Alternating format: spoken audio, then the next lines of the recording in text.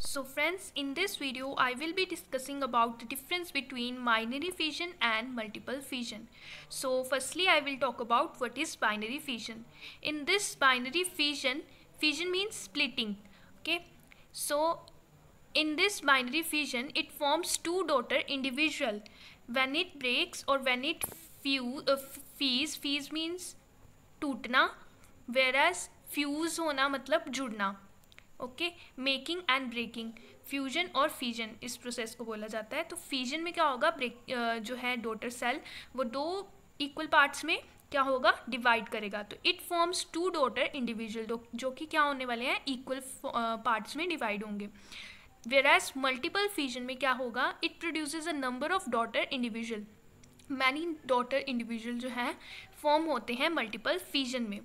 As binary fission में the nucleus of the parent body divides only once तो एक ही बार जो है पेरेंट बॉडी डिवाइड करेगी। As in multiple fission opposite रहेगा तो इसमें जो पेरेंट बॉडी होगी divide repeatedly third point is in binary fission no residue is left binary fission में कोई भी रेजिड्यू जो है एक्स्ट्रा जो पार्टिकल्स हैं या कोई मटीरियल है, वो नहीं रह जाता है। Whereas in multiple fission it में occur next it occurs during favourable condition so binary fission तभी होगी जब फेवरेबल कंडीशन पोर्ट करेंगी।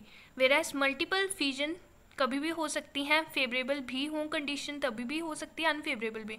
एग्ज़ाम्पल उन्होंने दिया, अगर फेवरेबल कंडीशंस हैं तो प्लाज्मोडियम की जो मल्टीपल फीजन है, वो होगी। प्लाज्मोडियम सो so, प्लाज्मोडियम में क्या रहेगा? मल्टीपल फीजन जो प्लाज्मोडियम है ये मलेरिया जो है कॉज करता है।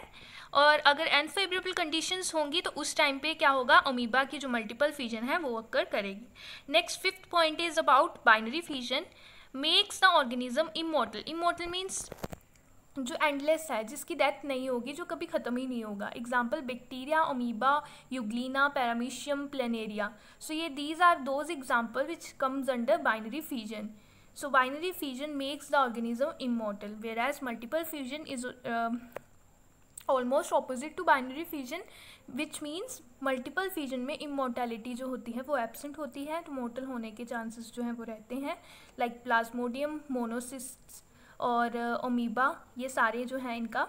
ओमीबा जो है बाइनरी फ्यूजन भी शो करते हैं तो as well as multiple fusion भी शो करते हैं इस वजह से ये दोनों की कैटेगरी के अंडर आ जाते हैं।